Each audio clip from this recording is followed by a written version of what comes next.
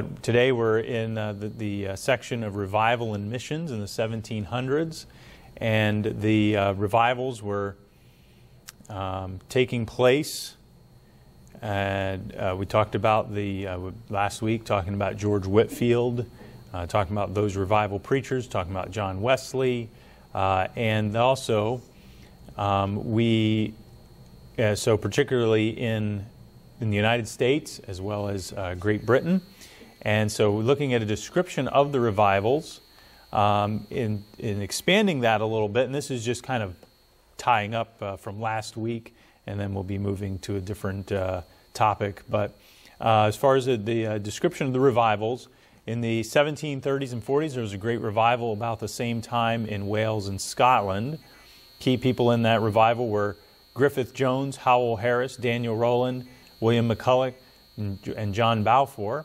George Whitefield and John Wesley also preached. A school was established in Wales by Howell Harris in 1752, and many were trained for the ministries. Uh, Selina, the Countess of Huntingdon, supported the revival in Wales with her money and influence. Many uh, new churches were established on her property. So, what we're highlighting here is what great change took place following the Reformation and how things. I mean, when you go from having over a thousand years, about a, oh, yeah, more than a thousand years of things being closed down, things being tightly controlled, uh, and much persecution. This was, and, and the Bible speaks of in, in Revelation the uh, a letter the letter to the church at Philadelphia, and that's God says, "I have set before thee an open door." And this would be a time period when there was a great open door in the 1700s and 1800s, uh, a great open door uh, that would be comparable to that uh, to church in Philadelphia, and and uh, that there, I've set before thee an open door that no man can shut. So this was the this was a time of, of great open doors, and, uh, and, during the time of revivals, and then we're going to see in the missions movements uh, and and the things that just really shape how what's in the world today uh, as far as as far as missions are concerned uh, missions is concerned. And there was also a revival in Germany in that, at that time. Whatever true spiritual life existed in German Lutheranism in the 1500s was dead by the 1600s. And I'll point out again, certain groups and people we're talking about doesn't mean we're going to have complete doctrinal agreement. This is a history lesson of showing here's what happened. And some of those that then truly did preach the gospel, they may have had other uh, doctrines, differing doctrines from the Bible. Uh, but we're, what we're tracking is the history of what took place in the revivals and the, the missions movement. Uh, and, it's, and you cannot, uh, it, it, you can't cover all of it. I mean, it, there's just there's so much uh, history out there uh, to cover. So we're doing really more of an overview of the big things that took place during that time. the uh, the, so, in, so we're talking about German Lutheranism, and and so there's the, uh, a movement that rose up within the Lutheran churches called Pietism, and that was Philip uh, Jacob uh, Spener. Uh, he lived from 1635 to 1705. He was a Lutheran pastor in Frankfurt and founded devotional meetings in his home, which were called Collegia Pietas, Pietatis, Collegia Pietatis, spiritual fellowships. These meetings spread across the country. He wrote a book called uh, Pia Desideria, Holy Desires, which emphasize holy, Christ centered Christian living. Uh, Spener sought to reform Lutheranism by emphasizing personal conviction, a vibrant relationship with Christ, and holy living. He did not want the people to leave the established Lutheran churches, however. The Pietists practiced infant baptism but taught that each individual should have saving faith in Christ later in life. Spener believed in a literal earthly millennial reign of Christ, promoted Bible reading, and taught the priesthood of the believer. There was an emphasis on missions, and a number of Pietist Lutherans became missionaries to America, Africa, and Asia. Count Zinzendorf, founder of the Moravians, was trained by them in his youth and obtained many of his ideas from them, including his emphasis on personal conversion and piety.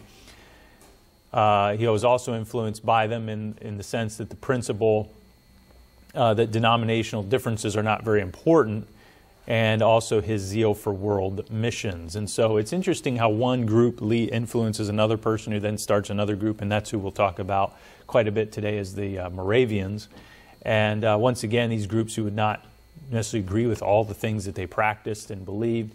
Uh, but one of the things with the Moravians was their missionary zeal, and Count Zinzendorf, who was influenced then by the Pietists, ended up influencing many others uh, with the uh, Moravians. And there were uh, great errors uh, with, within Pietism. It allowed for infant baptism, it had a broad ecumenical spirit among Protestants, and they emphasized feeling at the expense of the intellect in their desire to combat the evils of dead orthodoxy. So, so emphasizing feeling, they so they saw the deadness of the churches and of the of the the, the run of the mill Lutheran churches, and so they said, all right, we, we, we need we need to combat this a bit, uh, and so then they em- ended up going a little far the other way of emphasizing uh, feeling at the expense of the intellect. Uh, the so then we shift to the missionary movement. The great revivals of the 18th century were followed by a great missionary zeal. Uh, the Reformation had diminished the power of Rome, and there was greater freedom than there had been for a millennium. You think about that a thousand years, and then all of a sudden, this is taking place. Things open up. Uh, it's hard to even, I mean, if you're living during that thousand years, you do not know what's going to you're not you don't know what's going to be taking place next. If you're actually if you happen to live say you lived 500 years into the thousand years well you're still 500 years from things opening up. That's a long time. But from our from our vantage point looking to the past we say wow that's amazing. A thousand years goes by or more than a thousand years and then finally things open up and then look what happened and then uh, that brings us where we are uh, today the uh, God stirred up churches to use this freedom, and missionaries went to the ends of the earth during this era. There were missionaries during the Dark Ages among the separated groups that we've already talked about, but things really opened up during this time period. And so, those groups that we've discussed, they talked about the, uh, we've seen that they would travel and they would preach and they would do those types of work. And um, now, I want to make sure that when we're talking about missionaries, we're defining a missionary correctly. A missionary is one who is sent forth to go and preach the gospel, and it is not to um, uh, colonize as far as uh, what the uh, uh some some have a bad taste in their mouths about missions or missionaries, and they think of missionaries because of maybe what the Catholic Church had done regarding when they have Catholic missionaries. Well, what did they do? Well, they tried to convert the people into their system, but it wasn't just, it wasn't a personal conversion to Jesus Christ, believing in Jesus Christ. It was more of, there was more of a control factor in that of converting them to their system. And, uh, uh, and so that was, um, uh, and so some might uh, have more of a, a picture of missionaries that way. But when we're talking about missions according to biblical principles, we're talking about those who are simply going and they're trying to preach the gospel to the uh, people who need it, uh, whether they're unreached or maybe they'd heard the gospel before, but they're just trying to, to preach and obey the great commission of, uh, of preaching the gospel, baptizing, and discipling. And, and really, the heart of it should then be the goal of starting churches. Uh, there, the, there were missionaries, uh, as we've already said, there were missionaries during the Dark Ages, but this was the time of really opening up. The Protestant denominations did not carry out organized missionary endeavors for the most part until the 18th century. The Lutheran Pietists were one exception. Some of the great, uh, some of the Reformed uh, men also preached at great cost. Uh, one of the greatest missionary sending groups of the 18th century was the Moravians. And so the reason focus on the Moravians, why they get uh, a lot of history and, and publicity as far as uh, is, is not so much what they did as far as how they practiced uh, they, they, their religion or their belief system. Uh, not all their beliefs were, were necessarily doctrinal correct, doctrinally correct, like uh, Count von Zinzendorf. Um, but the main thing about the Moravians was their great missionary zeal of preaching the gospel, having a great missionary zeal of going throughout the world, and it left a, a legacy uh, for, uh, for churches to follow. And they were founded by Count Nicholas uh, von Zinzendorf, or as uh, I guess the proper pronunciation would be Nikolaus. Right, Russ? Would that be Nikolaus? Yes. Uh, Nikolaus von Zinzendorf a wealthy nobleman. Uh, say he lived from 1700 to 1760. His father died when he was only six weeks old. His mother remarried, and Nicolaus was raised by godly relatives and trained in Lutheran and Pietist doctrine. While in his teen years, Zinzendorf began to have a zeal and vision for world missions after he met some Pietist missionaries. And these Pietist missionaries were among the first Protestant missionaries. They had sent missionaries to the Danish colony of Tranquebar in India in 1706 and to Greenland in the West Indies by 1722.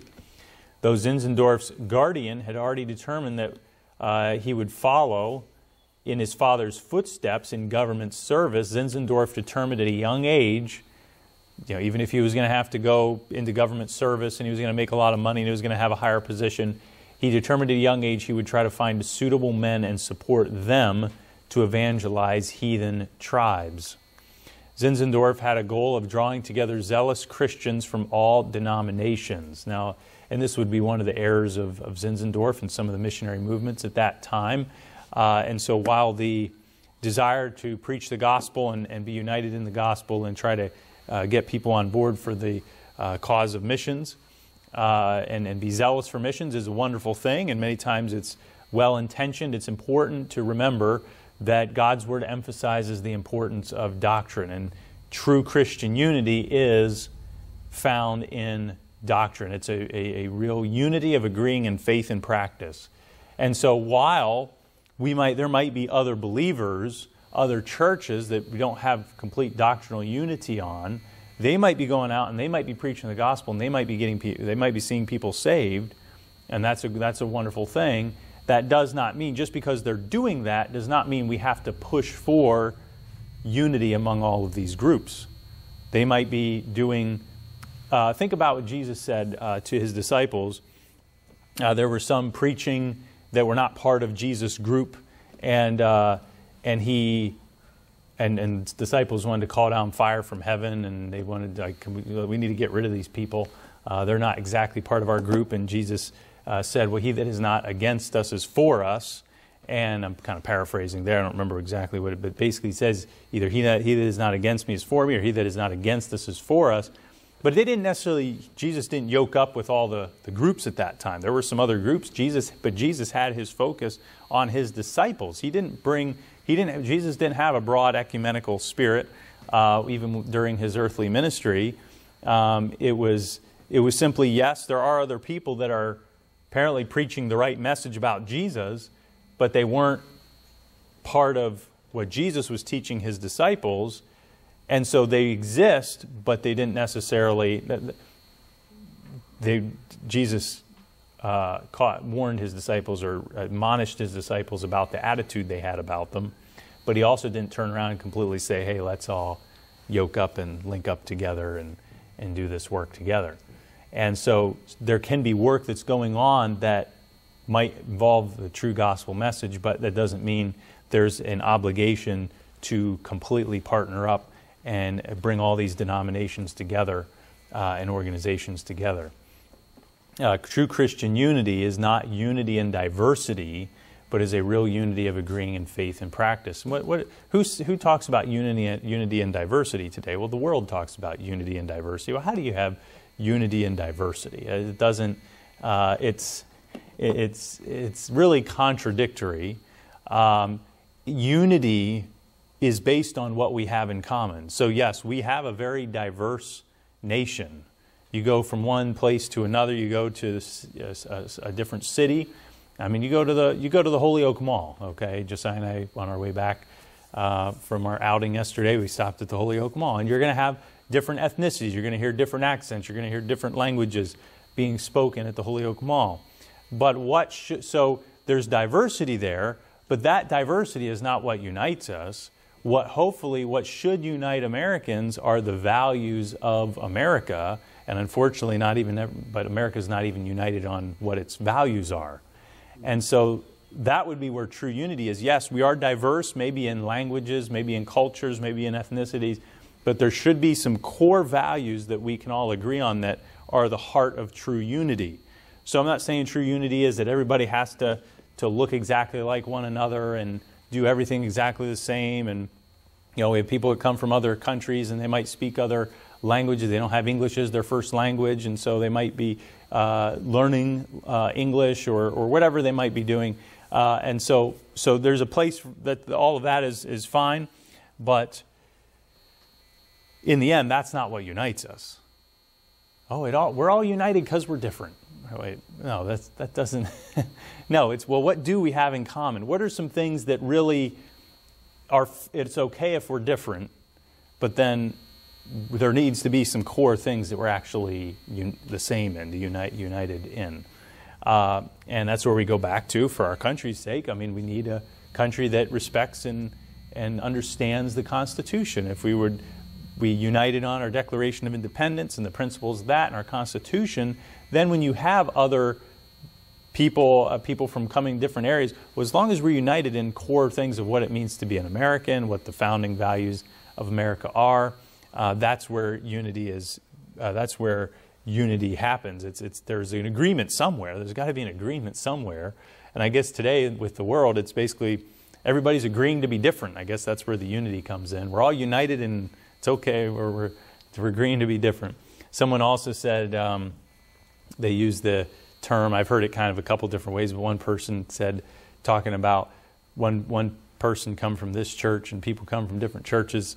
And, uh, and they say, he says, there's a real richness in the body of Christ. You know, that here's, here's you know, one that's Assembly of God, and here's, you know, this, this denomination, here's Baptist, here's, there's a real richness because of all these different, that kind of imply what? Because all these denominational, different, I'm thinking, I, that's not, I, I, don't think that creates a, a richness. Um, I think God is interested in doctrinal unity. But they, so that was one of the things that it's important to keep in mind here with their great zeal for missions, and it was very all well and good. Uh, the uh, we, we true Christian unity is not unity and diversity and just bringing oh let's bring all the denominations. And so in his case, his rallying point, his uniting point would be everybody has a heart for missions. So that would be the uniting factor. But so yeah, if you believe all these, you just if you believe have some other beliefs, uh, that's fine, you know, in, in, that way of thinking. But let's, let's all rally around missions. And so sometimes people have one rallying cry, and um, and then uh, you know everything else doesn't matter. It kind of depends on what their priorities are. The the Bible teaches that even evangelism is to be accomplished from a position of doctrinal unity. Philippians 1:27 says, "Stand fast in one spirit with one mind, striving together for the faith of the gospel." And so there we see the importance of we strive together. We have one spirit, one mind, uh, and uh, that's not just what the gospel is. That's it, it's there. There are other priorities that also are important in evangelization. Uh, Zinzendorf got a law degree and became the king's counselor at the court of the king of Saxony, but his heart was in preaching and ministering. He purchased a small estate from his grandmother, chose a friend to pastor the village church there, and set out to convert the peasants and turn the village into a Christian community. Being a Lutheran territory, the villagers were nominal Christians, having been baptized as infants. So, uh, apparently, not a great reception um, with those who were just nominal and not really committed uh, to, to what he was trying to accomplish here. In 1722, he invited a per- group of persecuted Protestants from Moravia and Bohemia to settle on his estate. Some of them were descendants of the Bohemian Brethren, who arose after the death of John Hus in the 15th century. They established the community of Herrnhut, the Lord, which is, means the Lord's Watch, uh, all were required to sign a brotherly union whereby they agreed to live in friendship with Christians of other denominations and to regard themselves as members of the Lutheran Church. They attended a Lutheran congregation. They emphasized personal conversion, holy living, and a personal relationship, an ongoing personal relationship with Christ. The Moravian communities were extremely regimented. In the early days, no forms of entertainment were allowed. They worked 16 hours a day. The elders controlled the details of the people's lives. The daily activities of the members were organized according to, to the needs of the community, and much of the money was held communally. In the early days of Herrnhut, the brethren established a 24 hour intercessory prayer meeting. Now, this was just basically something that was completely ongoing, uh, not just one 24 hours, but they had a schedule where there was always somebody praying. A schedule was organized, and each believer took his turn around the clock year after year. And when you're in a uh, communal place like that, that's probably easier to do. Um, but uh, it, it also shows, though, their priorities of the need for prayer, and, and along with mission should be uh, a priority of prayer. The elders would select a different text of Scripture each morning for meditation, so people would read that and meditate upon it. So, uh, not not saying that the way they were set up here, as far as being controlled by these elders of the community, and I'm not saying not endorsing all of that. Just saying here's what they did, uh, and, and so they would read it, they'd meditate upon it uh, throughout the day. Uh, many decisions were settled by lot. The first foreign missionaries were sent by lot because there was there was some opposition as far as the, the, the first missionary among some of the people, uh, first missionaries, and so they, they cast lots and they uh, and so they made the choice. They, they sent them out. Uh, Zinzendorf himself was a zealous evangelist. He established student groups at the University of Jena and University of Halle, uh, Hale, I think, H A L L E. Uh, he established a, a, a, printing press to publish tracts, booklets, and inexpensive Bibles. He invited dirty gypsy children into his home for tea and shared the gospel with them. So here's somebody who is this high ranking, you know, he's basically a nobleman. He's, uh, and then he, he brings in these children uh, of the gypsies. They, they would be dirty, they, they lived, uh, they didn't have that type of living situation uh, that he did, but he'd invite them into his home and he'd share the gospel with them. Uh, Zinzendorf also loved, uh, should say loved, Zinzendorf loved the Jewish people. Loved, should say loved Jewish people. Just left the D off. Uh, Zinzendorf loved Jewish people. He cared for their souls. This was a time, this was during a time when the Jews were hated by Catholics and most Protestants, including Lutherans. He treated them kindly and spoke to them about Jesus when he had the opportunity he also encouraged others to carry the gospel to them. So we see that even with his background somewhat in Lutheranism, that this pietist movement was a separate uh, movement. And then also with his uh, movement, his group, uh, even though there had similarities to Lutherans, there was another area where he was different, and that is a big difference of uh, he loved the Jewish people and cared for their souls. Uh, because that was very common that Catholics and Protestants uh, were not friends of the Jewish people, and uh, and so there was persecution there uh, because of the hatred and for various uh, couple you know, the couple main reasons whether the you know Jews were so-called responsible for putting Jesus to death, and then also um, when you have replacement theology, and now these churches are the new Israel, so to speak. They've replaced Israel. These groups uh, that pretty much marginalizes the actual Jewish people and say, well, you're, uh, and, and so they would uh, treat them badly. Uh, the first missionaries were sent out between 1732 and 1737. Uh, they went to St. Thomas in 1732 and preached the gospel to the oppressed slaves there. Was, and, and that was the, that was one of the things about the Moravians is they had such a zeal and a heart for missions that they did the hard things when it came to missions. They did the hard things. Uh, it's been said um, that the, the there, there's a story told about two Moravian missionaries, and they were going on a ship and they were heading off. And I don't know if it was the ones that were sent out in this particular case or if it was another time, but two Moravian missionaries who sent out, and uh, they knew that pretty much they go, they weren't coming back because they were going to end up having to be slaves themselves. And, uh, and they said, May the lamb that was slain, at least this is the way the story goes, may the lamb that was slain receive the reward of his suffering, is what, they, uh, what their heart was, their, what their cry was as they're on that ship, and the people realizing we'll probably never see these people again, uh, these two individuals uh, again. I think it was two of them. And, but that was their heart, and that, that was that, and that's a motivation for doing the hard things is may the lamb that was slain receive the reward of his suffering. In other words, he suffered and he died for these people, and so we want him to receive his reward, and so therefore we're willing to go to the ends of the earth even to these places where there's where their people are enslaved to preach the gospel to them so that Christ, the Lamb that was slain, can have the reward of his suffering.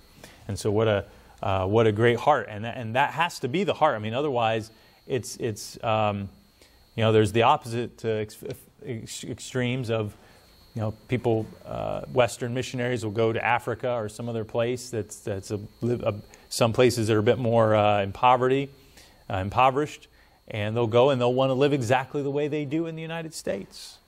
But that's not the way it works. Not the way it should work. Unless, of course, you go to a city in Africa. A lot there's a lot of similar living standards in certain cities around the world. But then you get out of the cities and it's not the same.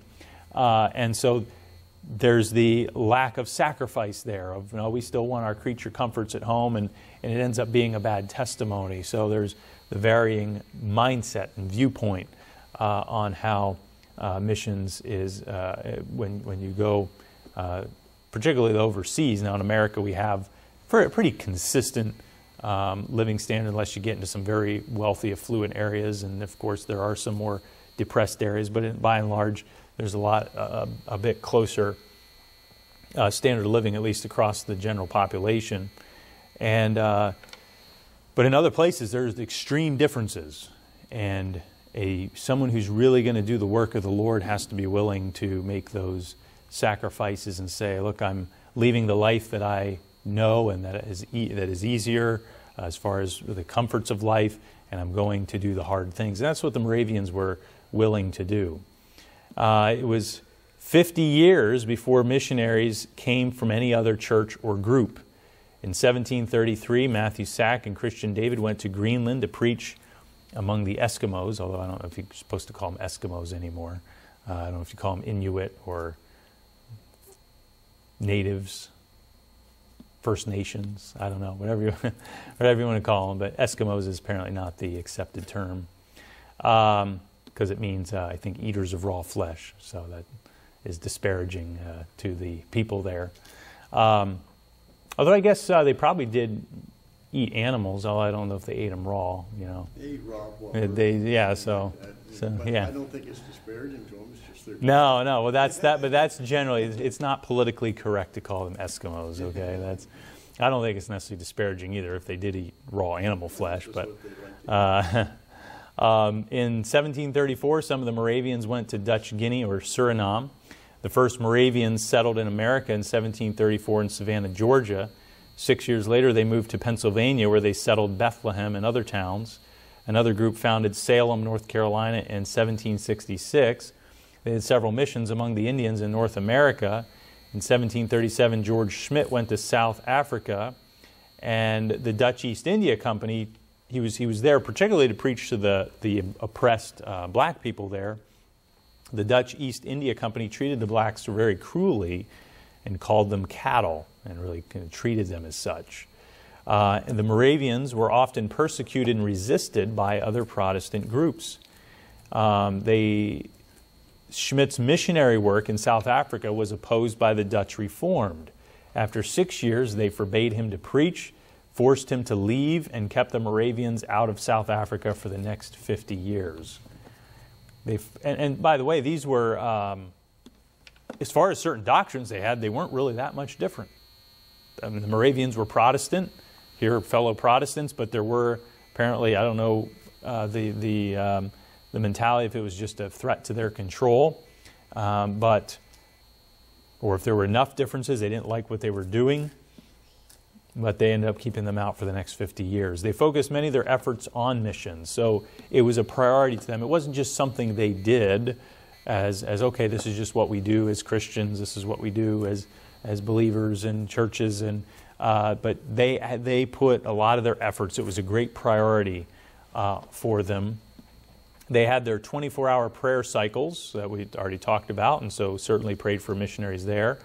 Uh, they prayed in services. They wrote and sang hymns about missions. They regularly gathered to hear the reading of letters from missionaries. They discussed missionary matters at their councils. They supported them with sacrificial giving. They sent representatives to visit the missionary works. They created missionary training centers. They purchased and maintained a ship to carry missionaries and supplies to and from Labrador. and many of the young Moravians determined to stay, stay single for the sake of the gospel in order to face the difficulties of mission work. They had special groups for the single brethren and single sisters, which became extended families. Each group had their own devotions and prayers.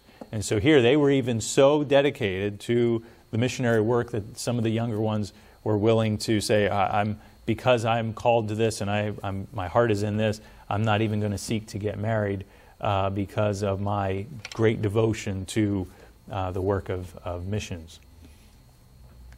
The Moravian missionaries established communities for their converts.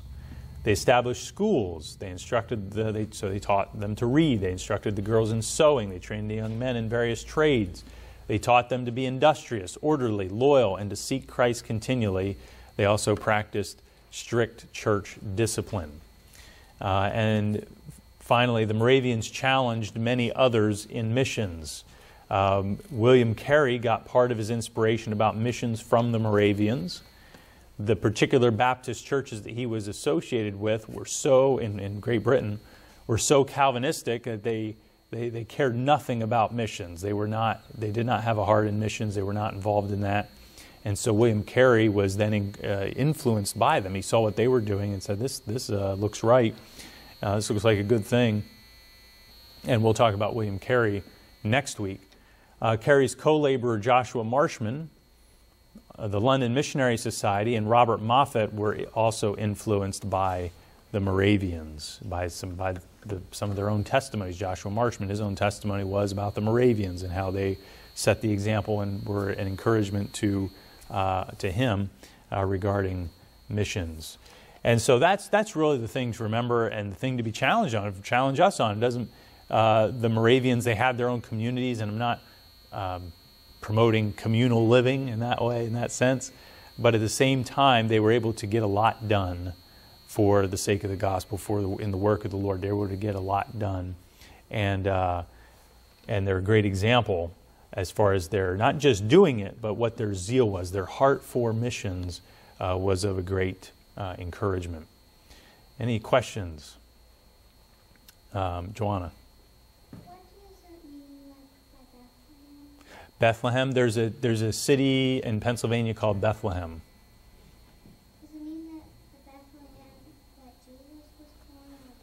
No, no, it was a different one. It's in Pennsylvania. So they probably named it after the town where Jesus was born. Um, but it was, so the Moravians settled that area, and so they probably decided to call it Bethlehem because of Bethlehem in the Bible. Yeah. Denise?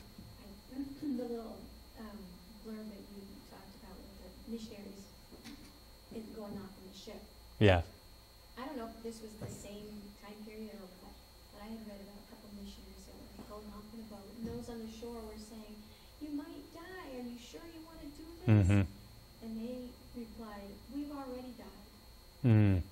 Yeah, it could have been the same ones. I'm not sure. There might be different versions of the story. Who knows? You know, um, but absolutely, absolutely, yeah, yeah. And that was their heart. That was their heart for missions. Uh, that was their their commitment to it, um, and they wanted to see people saved. They wanted to get the message to them, and so a great uh, commitment to that, which is a great example. Something we can use today. Christians could use that today. Many churches could use that uh, today because there's this attitude of we want to, we, yeah, we want to do the work of the Lord, but we really want to do it in a way that's very comfortable for us.